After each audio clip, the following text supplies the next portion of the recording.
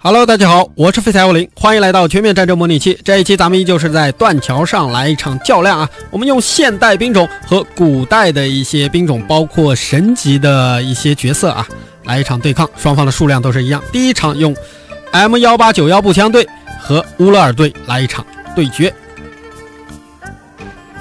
一排骑射，乌勒尔毫发无伤，丢出了他的兵斧。全部冻成冰块。接着，咱们用燃烧弹小队啊，来和乌拉尔对抗一下。双方依旧是同样的兵力。这是一场冰与火的较量。哇，这边是烧了起来，那一边是冻成了冰块。乌拉尔，乌拉尔的这个伤害啊，还是非常的高的。咱们再用波波沙冲锋枪来和乌拉尔较量一下。第一排乌勒尔全部倒下了，但是我们后续的子弹没有跟上啊，CD 时间比较长一些，所以又是被秒了。我们再来看一下 M 幺六团队的这个效果到底是怎么样？射击的频率非常高，速度非常快。乌勒尔倒下去两排了，还是丢出了少量的兵斧。虽然兵斧数量很少，但杀伤力依旧很大。还有一名一名战士存活。乌勒尔有四名，是四名吧？啊，是的，这能赢吗？哎，一斧子没砸到，两斧子、三斧子，哎，不错，躲掉了很多的斧子，干掉了两名乌勒尔，已经是很厉害了啊！如果这后面的还没有砸到的话，这两名乌勒尔估计也要挂掉。现在咱们要上重型武器来对付乌勒尔了啊！我们用同样数量的暗杀者来和他较量一下。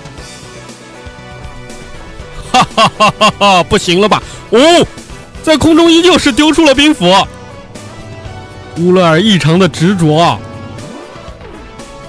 虽然咱们攻击力很强，但这防御不行啊，还是变成了冰雕。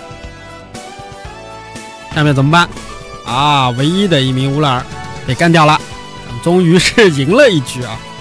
再来，咱们上火箭筒啊！哇，这个威力依旧是巨大，但是乌勒尔还是丢出了兵斧，秒掉了，全部秒掉了。乌勒尔绝地逢生啊！你看这被炸的漫天飞的，还是依旧是丢出了兵斧，但是他没有摔下去，所以你先挂掉了，所以就判定了乌勒尔获胜。没事，咱们还有杀手锏，我们看一下这一场能不能拿下来。这个射击速度更加的快了，手持双枪，乌勒尔连。投出斧子的机会都没有，多么强呀！啊！而且他们的射击非常疯狂，在转圈一样。咱们蓝方也换人啊，我们用宙斯上场和暗杀者来一场对抗。宙斯的群伤能力是非常的强的，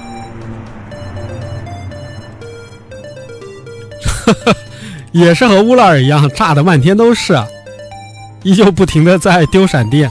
这家伙的造型啊，非常的有意思啊。宙斯获胜了啊，闪电还是比较强的。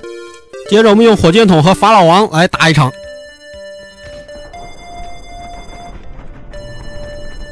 炸的什么都看不见了，什么都看不见，全部被烧焦了。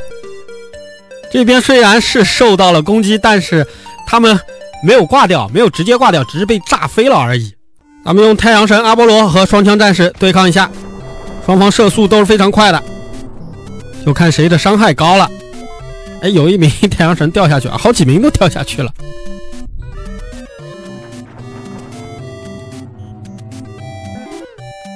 看来还是阿波罗更加的抗揍一些啊。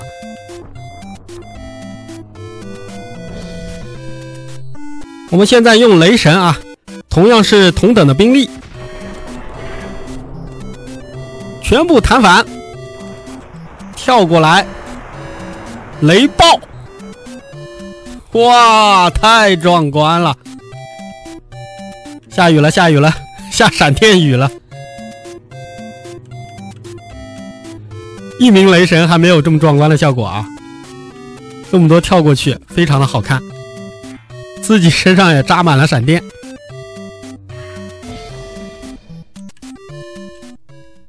最后咱们用奥丁登场啊，然后对面的红方我们这一边增加了大概有一倍多的兵力，来看一下效果。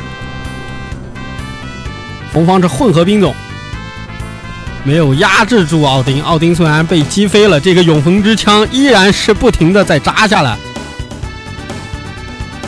前排已经全部变成冰雕了，因为兵力的优势啊，后排还有一些双枪的士兵在不停的扫射。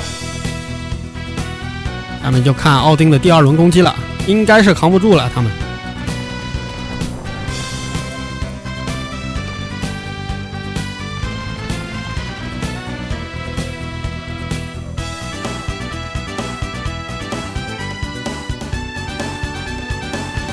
精确打击，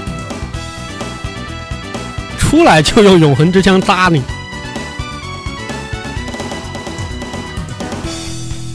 他，这这么多冰雕全部穿墙而过，这是什么操作？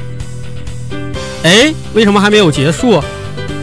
不是已经已经干掉了吗？啊，还有还有一个没有完全成为冰雕。好的，咱们这期的节目也到这边结束了，感谢大家的观看，咱们下期再。